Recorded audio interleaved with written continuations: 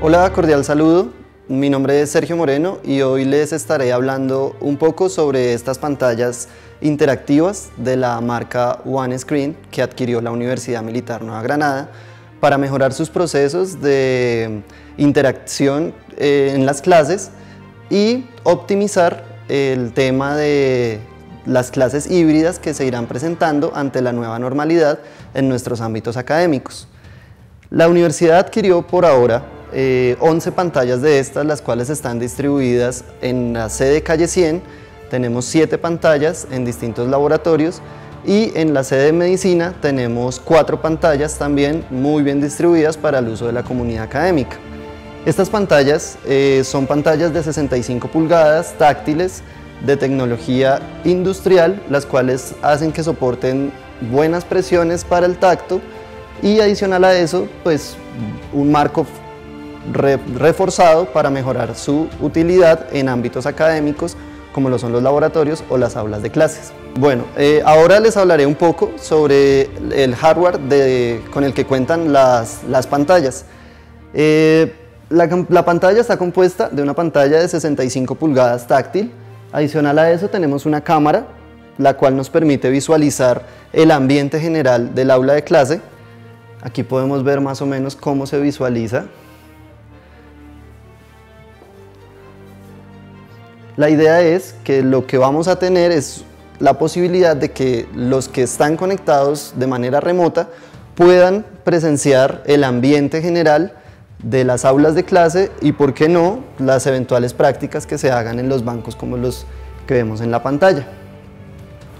Adicional a eso, la pantalla tiene incorporados un sistema de parlantes para la transmisión pues, de contenido audiovisual que el docente o ponente necesite presentarle tanto a su salón de clase de manera presencial como a los que están conectados de manera virtual. Adicional a esto, la pantalla cuenta con distintos tipos de puertos, como lo son HDMI, tres puertos HDMI para conectar equipos adicionales que deseen proyectar en la pantalla. Tenemos también un puerto VGA para, de igual manera y un DisplayPort. Adicional a eso, estos son los canales de entrada a la pantalla. Tenemos otras disposiciones como un puerto HDMI si el usuario o las características del laboratorio requieren que conectemos pantallas adicionales como esta, que pueden estar distribuidas en los ambientes académicos, mejorando los ángulos de visión de todos los que estén involucrados en la práctica presencial. Perfecto, ahora les voy a hablar un poco sobre la conectividad de las pantallas. Estas pantallas tienen eh, dentro de sus puertos un puerto RJ45 para conexión cableada de internet. Es importante resaltar pues, que esta conexión es muy importante, bien sea cableada o inalámbrica, porque también tiene tarjeta y antenas para conexión eh, Wi-Fi o inalámbrica. Esto es muy importante porque muchas de las utilidades que tiene la pantalla pues requieren conectividad, porque tienes que ingresar a las cuentas de Google, etcétera, etcétera, dependiendo de las aplicaciones que vaya a hacer cada docente. La pantalla en general eh, cuenta con dos consolas principales, digámoslo así, o dos ambientes principales. Uno de los ambientes es el ambiente de Android, que lo voy a presentar a continuación. En ese ambiente tenemos distintas herramientas como son las aplicaciones. Aquí vemos algunas cargadas predeterminadas como Gmail, la cámara que hace un momento la vimos, Drive para visualización de los contenidos que tengan en Drive, Drawing para si ustedes desean hacer interacciones en sí misma y la Play Store.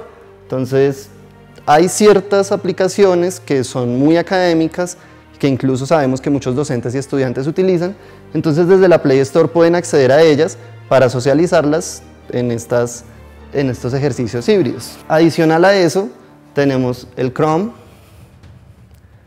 que es con el, el que todos ya estamos familiarizados. Aquí tenemos una, una vista de la página de la universidad, la cual el, docente puede navegar como lo necesite de manera táctil e incluso puede hacer intervenciones sobre la pantalla usando la herramienta para escribir. Entonces así podemos resaltar algunas cosas, cambiamos de color, para resaltar algunas cosas, lo cual, va a facilitar mucho la experiencia tanto del ponente como de quienes están recibiendo la capacitación o la clase, etc. Es importante destacar que en cualquier ámbito en el que usted desarrolle su clase, las escrituras que usted haga y demás, pues tiene la herramienta para guardar lo que escribió en la pantalla y enviarlo a sus estudiantes, al auditorio o a quien lo requiera. Son distintas herramientas, funcionan igual, tienen la misma experiencia de usuario con la cual todos estamos familiarizados en nuestros dispositivos móviles, tablets y demás.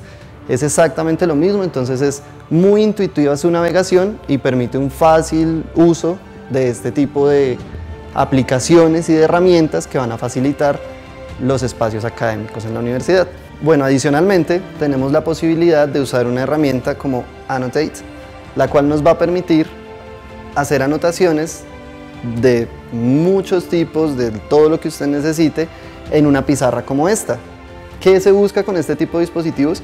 Que ustedes trasladen la clase de los tableros acrílicos a una pantalla interactiva la cual pueden replicar o copiar a todos los integrantes de la, de la clase de tal manera que sus estudiantes o su auditorio no se distraiga tomando nota de lo que usted está haciendo, sino que le preste toda la atención y usted luego le haga llegar todo lo que hizo. Tenemos la posibilidad de hacer este tipo de, de rayones multitac, la pantalla es multitac, lo cual da ciertas aplicaciones, sobre todo en el área de, por ejemplo, de modelado, de diseño, etcétera, etcétera. Usted puede disponer de todo esto, todas las herramientas normales y conocidas, pincel, e incluso si no le alcanza digamos la primera superficie puede agregar páginas adicionales todas las que necesite y navegar en ellas visualizando de pronto algunas referencias o comentarios que hizo en momentos anteriores de la sesión se borra completamente. Este es el borrador. E igual usted aquí puede hacer distintas funciones. Guardar lo que, lo que hizo enviarlo generar un código QR y adicionalmente la persona, el ponente o quien esté aquí puede generar o cargar archivos desde la pantalla misma, el administrador de archivos usando esta herramienta, cargar una imagen predeterminada y sobre ella hacer intervenciones de escritura, borrado, resaltado, etc. Bueno, ya les mostré un poco sobre todas las herramientas a las cuales podemos acceder desde la consola de Android y todas las ventajas que eso nos puede representar en la estructura y presentación de una clase habitual. Ahora voy a pasar a mostrarles la segunda consola con la cual cuenta la pantalla, la cual tiene que ver con un sistema operativo, en este caso Windows, en donde podemos navegar todas las herramientas conocidas de Windows, el Office, incluso la idea es poder tener, de acuerdo a las necesidades de cada uno de los salones poder tener software especializado eh, de acuerdo al que se use en ese espacio para que el docente pueda acceder a él, presentarlo y explicarlo en una pantalla interactiva como esta. Bueno, aquí tenemos exactamente lo mismo que les mostraba, pero este ya es el navegador desde Windows. Tenemos aquí el ejemplo de la pantalla de la universidad y de igual manera podemos acceder a herramientas de escritura para resaltar lo que necesitemos comentar, etcétera, etcétera, hacer el guardado tal como lo hacíamos en, Android. Ahora les presentaré eh, desde la consola de Windows, pero también lo podemos hacer desde la consola de Android, cómo sería una de las principales características de, que vamos a utilizar en este tipo de herramientas, ya que pues como les decía al principio, la idea es que usemos esto para nuestras clases híbridas y demás. Entonces yo acá tengo precargada una reunión en Zoom, que es una de las tantas herramientas que usamos hoy en día para las clases, reuniones y demás. Voy a iniciar una conferencia, una reunión, una clase. Lo hacemos igual que en cualquier tipo de dispositivos y aquí tenemos más o menos cómo lo visualizamos. ¿Listo? Eh, la idea es Aquí podemos tener conectados pues, a nuestros alumnos de forma virtual, pero también visualizar cómo es el ambiente y la participación y demás de todos los que conforman el espacio académico. De igual manera, eh, si alguien que está conectado de forma remota va a hacer alguna intervención, pues como en todos los canales normales, usted va a tener aquí los participantes de la reunión y habilitar el audio cuando alguien quiera hacer una intervención y por medio del sistema de sonido de la pantalla, todo el auditorio va a ser partícipe de, de esa situación y poder interactuar de forma muy bien sincronizada entre las personas que están de forma presencial y quienes están conectados desde su casa o desde otro tipo de ambientes.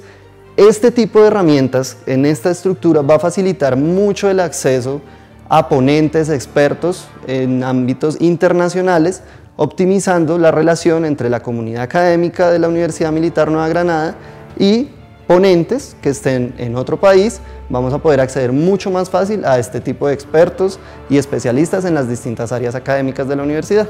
Otra de las múltiples aplicaciones que tiene la, la pantalla es una utilidad que se llama eShare. En ella vamos a poder conectar nuestros dispositivos, eh, pueden ser celulares, eh, tablet, de cualquier tipo de ambiente. Eh, funciona con equipos Android o también con equipos iOS. Entonces esta es nuestra herramienta para, para conectividad. Tenemos tres secciones diferentes, básicamente las que vamos a usar son esta, en la cual los usuarios pueden venir, escanear el código e inmediatamente va a relacionar la pantalla con el distinto dispositivo. ¿Esto para qué se puede utilizar? Se puede utilizar para que, por ejemplo, el docente no esté aquí sentado, sino de pronto sentado manipulando un dispositivo móvil o portátil y proyectarlo simultáneamente en la, en la pantalla. O adicional, los estudiantes pueden estar conectados todos de manera simultánea, visualizando lo que está en la pantalla, pero en sus dispositivos. No solamente eso, ellos van a poder intervenir la presentación, hacer escritura, subrayado o señalar. Y lo otro que vamos a utilizar es aquí esta parte. Bueno, acá una cosa importante, la pantalla ya está nombrada, entonces esa es la que nos aparece en la aplicación. Y este es el código de acceso para que los dispositivos se conecten. Lo voy a hacer en este momento. Listo. En este momento ya la, la pantalla está conectada a mi dispositivo. Bueno, eh, aquí en este momento yo ya estoy conectado a la pantalla, voy a empezar a manipularla desde mi dispositivo. Volví aquí, puedo ver, ingresar a las aplicaciones, escoger las aplicaciones, abrir la cámara y empezar a manejar la pantalla aquí desde este dispositivo. También puedo, por ejemplo, vamos a hacer una apertura de un documento para la visualización en la misma desde mi dispositivo, navegar en, en ella, como lo pueden visualizar, estamos en una presentación PDF, pero que estoy proyectando desde mi teléfono celular. De igual, como de igual manera como lo hicimos hace un momento, entonces yo puedo realizar intervenciones sobre la presentación tal como lo estamos viendo en este momento, resaltando, corrigiendo e incluso puede funcionar en formatos o folletos que los docentes o el ponente tenga predeterminados para que la persona realice el diligenciamiento del mismo. Hay algunas recomendaciones eh, preliminares que son importantes para que la experiencia con las pantallas sea mucho más adecuada.